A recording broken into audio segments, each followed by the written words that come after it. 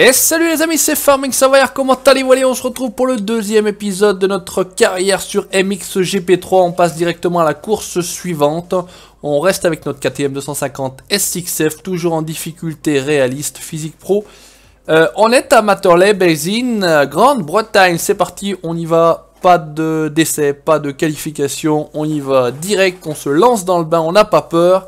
Euh, pour ne rien vous cacher, euh, j'ai des souvenirs de ce Grand Prix là euh, par rapport à MXGP2. Il fait mauvais, ça ressemble, voilà. Alors je vais vous parler des, des aptitudes de ma moto. Vous voyez 9,8 en accélération, 10 en puissance de freinage, 9,5 en vitesse et 9,9 en maniabilité.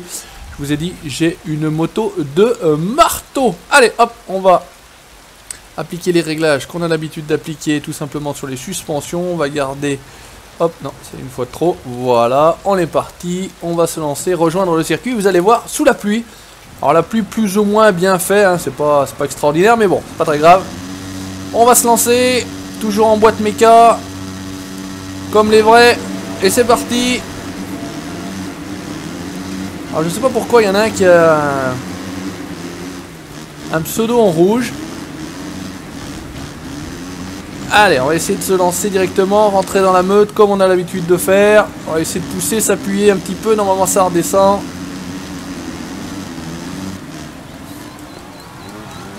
C'est vrai que ça tourne fort là, lui rester un minimum concentré, parce que c'est vrai que... Ne connaissant plus trop le circuit... Pour l'instant, on tient une deuxième position, Jeff Erlings devant nous. On est parti pour 3 tours. Allez, on va s'appuyer avec lui, tranquillou, on va se lancer. Franchement joli, sous la pluie, terrain humide. Hop, ah oui là c'est vrai qu'il y avait un petit passage un peu tordu. Pousse-toi Jeff, tu vas nous faire tomber tous les deux, abruti. Paul Jones en profite pour filer à l'anglaise, sans mauvais jeu de mots. On prend bien l'intérieur. Allez, on va attaquer la partie où il y a un peu des jumps là. Allez, on fait un bel intérieur. J'espère qu'il va pas me faire tomber. Salopard. Kono, va. Allez, pousse-toi. Allez, Paul Jones qui file. On va essayer de rester dans sa roue. Et on s'est débarrassé plus ou moins de Jeff. Il est pas très loin derrière, hein, vous me direz.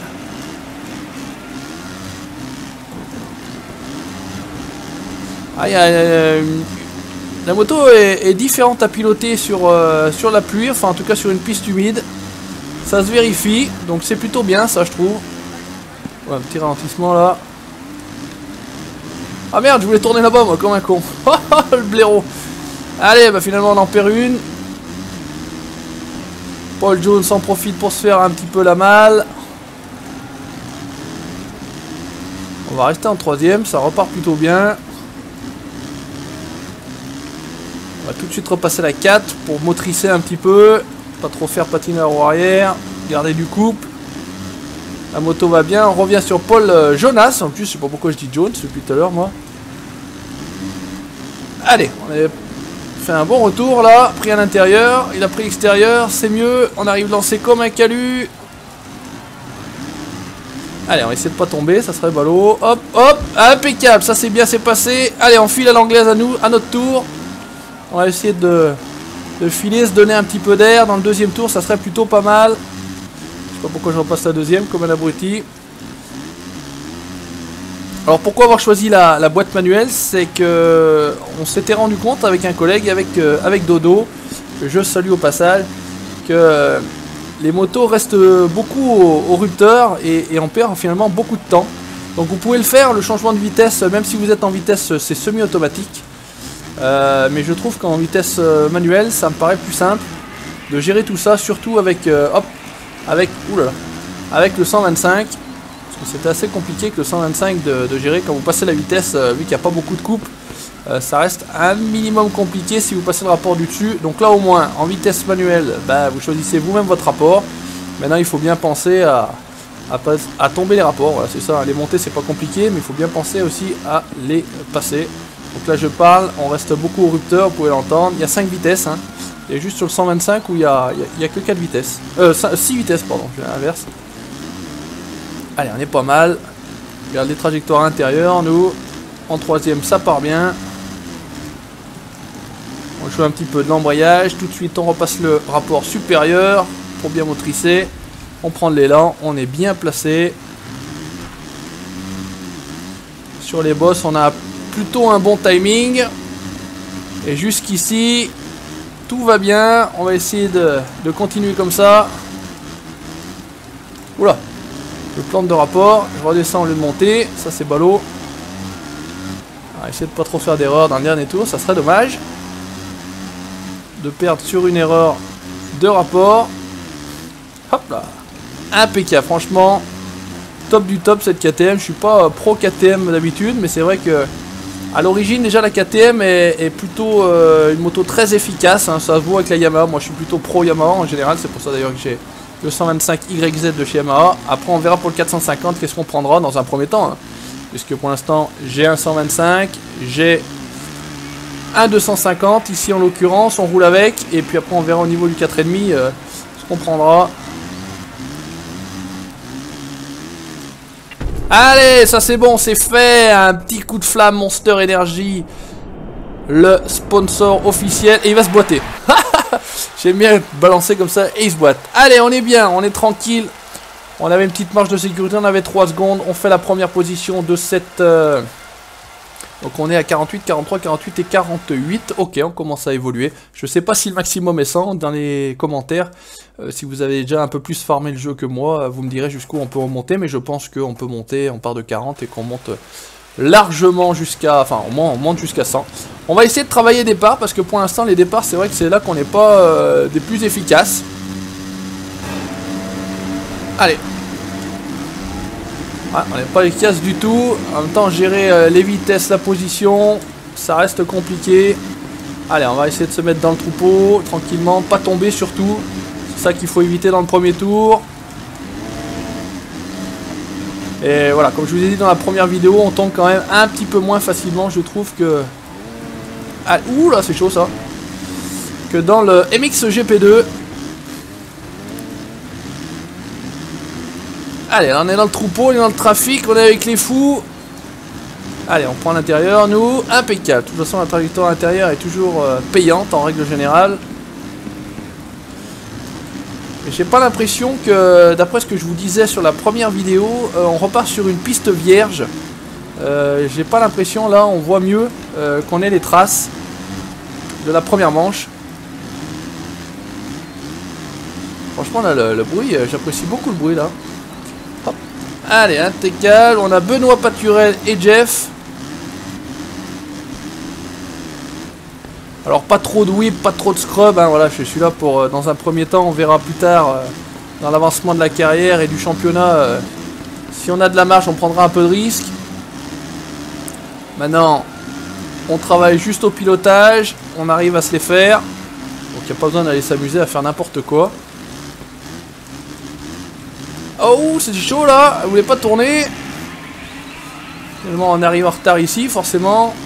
Et là, on prend une petite bosse qui sert à rien, qui va nous faire perdre du temps. Jeff qui l'a, dans la roue. Un peu plus court dans la trajectoire. On va atterrir un petit peu plus loin. Et on part comme des calus à fond la caisse. Attention, faudrait quand même attraper le jump. on a failli passer en dehors carrément des limites euh, du circuit. Mais le Savoyard, il est toujours là. Il reprend ses bonnes habitudes. On rattaque, hop, first position. Deuxième tour. Ah, franchement, je prends beaucoup de plaisir. Je prends vraiment beaucoup, beaucoup de plaisir avec ce jeu. Ça fait un petit moment que je l'attendais. J'ai fait euh, tout ce qu'on pouvait faire euh, quasiment j'ai fait tout ce qu'on pouvait faire d'ailleurs sur MX GP2. On fera également tout ce qu'on peut faire euh, sur MX GP3. C'est vraiment les jeux que j'affectionne moi tout particulièrement. Pas du tout euh, Crossman euh, IRL.